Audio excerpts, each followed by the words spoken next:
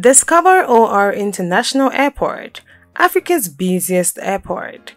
Hello Displorers, welcome to another informative video presented to you by Displore and thanks for watching. In this video, we will take you to the beautiful country of South Africa and shine the light on the busiest airport in Africa, the OR Tambo International Airport. The transport sector in Africa is an ever-growing sector and a reason for the current bolstering continent we have. Of the mediums of transport, air is one of the most improved and essential, as it transports tourists, goods, services, labor, and so much more that brings progress to every country through exchange. Amongst the numerous airports the continent boasts of, the king is the OR International Airport. And in this video, we will go on a joy flight to discover the busiest airport on the continent. OR Tambo International Airport is an international airport situated in Kempton Park, Gauteng, South Africa. It serves as the primary airport for domestic and international travel to and from South Africa, and is Africa's busiest airport with a capacity to handle up to 28 million passengers annually. The airport, which serves as the hub for South African Airways, was originally known as Jan Smuts International Airport, named after the former South African Prime Minister.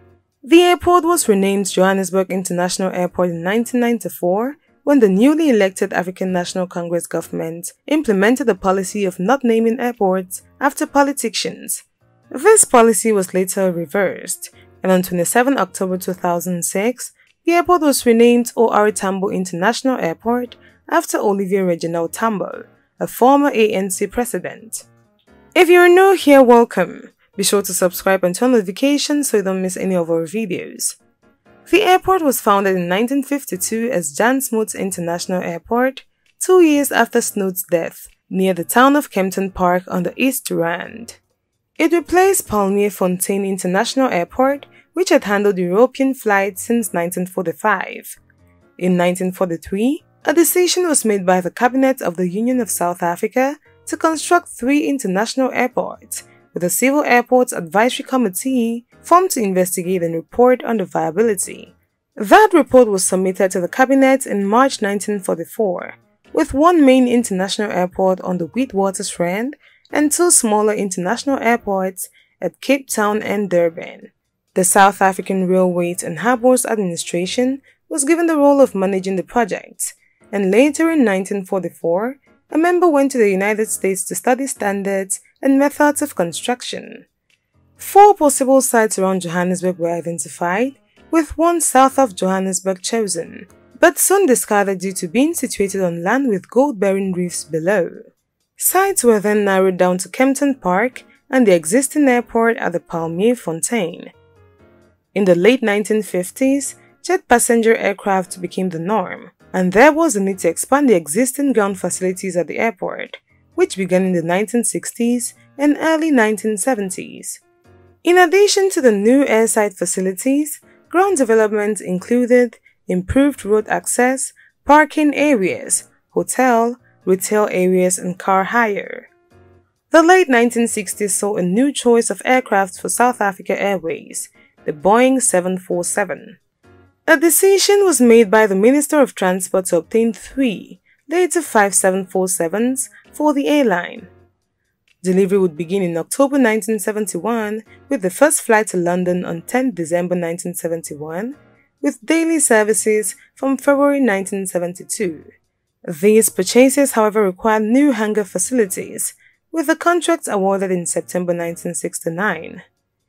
Construction started in December 1968 and was completed in October 1971. Other new buildings such as workshops, testing facilities, stores, staff accommodation and air cargo handling buildings were built. The new hangar would allow for two 747s in each bay, with dimensions of 73.2 meters wide, 24.4 meters high, and a depth of 91.4 meters. It was used as a test airport for Concorde during the 1970s to determine how the aircraft would perform while taking off and landing at high elevations known as hot and high testing. During the 1980s, many countries stopped trading with South Africa because of the United Nations sanctions imposed against South Africa in the struggle against apartheid, and many international airlines stopped flying to the airport. These sanctions also resulted in South African Airways being refused rights to fly over most African countries.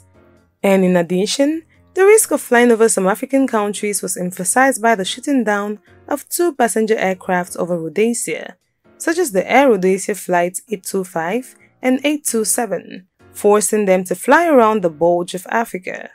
This required specially modified aircraft like the long-range Boeing 747 SP, and second runway was built at the airport in the late 1980s.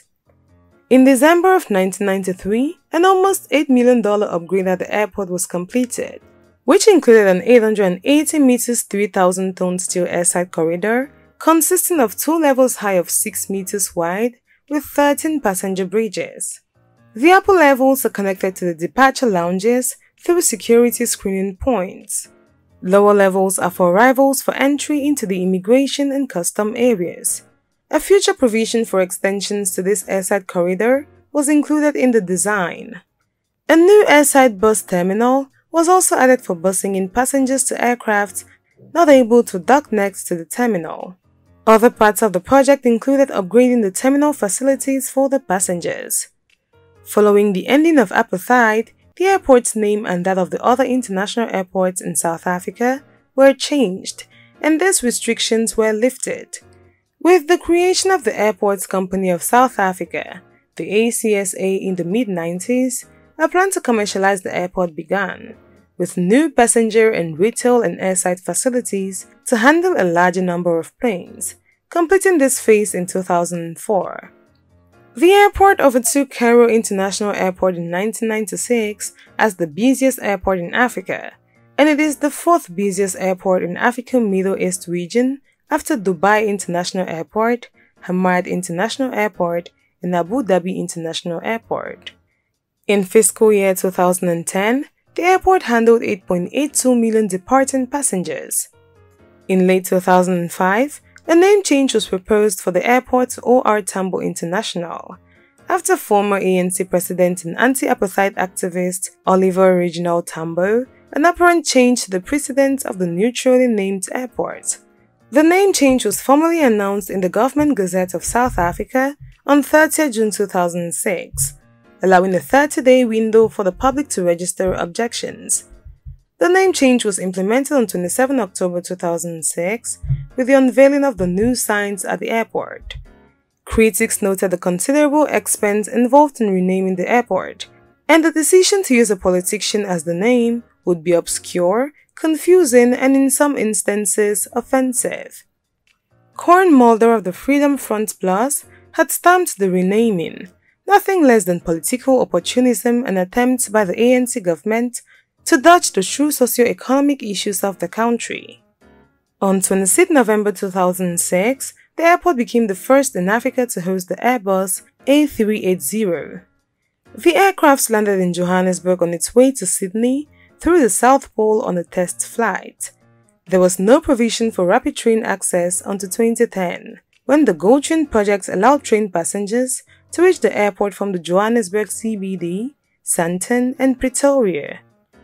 Airport information OR Tambo International Airport is a hot and high airport situated 1,700 meters above mean sea level, where the air is thin. The thinner air is also the reason for the longer than usual runways. OR Tambo International Airport is one of only three airports in the African Middle East region, as well as the only one properly located in Africa that has non-stop flights to all inhabited continents the other two being Dubai International Airport and Doha International Airport.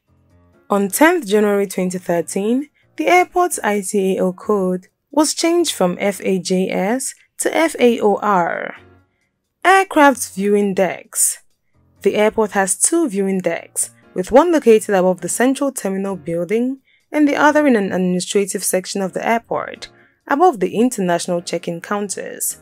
There are regular displays of Oliver Reginald Tambo, the airport's namesake in the viewing decks. Infrastructure The airport has several infrastructures which are the facilities which make the airport as efficient as it is, hence its reputation on the continent. They include runways, taxiways and aprons, ground transportation, terminals, traffic stats bureau, and many other buildings, which embody the full package of the airport to make it of great standards. OR Tambo International Airport has two runways adjacent to the airport's terminal buildings. The runways are equipped with approach lighting systems, sequenced flashes, touchdown zone lighting, runway threshold, edge and center line lights. OR Tambo International Airport has a network of asphalt taxiways connecting runways, 9 aprons, and maintenance facilities, all of which are 30.5 meters wide, except for Taxiway Echo, which is 60 meters wide. There are six terminals at the airport, but these can be broken down into three major areas the international terminals, the domestic terminals, and the transit terminals. Terminals A and B boast over 140 retail stores, while duty free stores are based in Terminal A, and many of them stock products exclusively available at the airport. There is also ample parking available with a state of the art technology that allows visitors to identify available parking spaces easily. Ground transport in the airport includes a road transit terminal, which has been built between the domestic and international terminals. It houses the Gautrain station, linking the airport to Sandton, a major business district and a primary tourist area, and from there, the rest of the Gautrain system. The airport is easily accessible by car, located northeast of Johannesburg Central, at the eastern end of the R24 Airport Freeway. Five bus city lines operated by Metrobus and Putco pass through the airport twice a day. The buses are accessible in the morning and the evening, when there are many passengers departing or arriving. There are also private bus lines operating express buses to the CBD of Johannesburg, as well as other locations. All these grander aspects of the airport and more is the reason why it can compete intercontinentally and is the busiest in Africa. There you have it, Displorers, That was everything you need to know about Africa's busiest airport, OR our International Airport. Thanks for watching this video, and if you did enjoy the video, do want to give it a thumbs up. Do not forget to subscribe and share with your friends.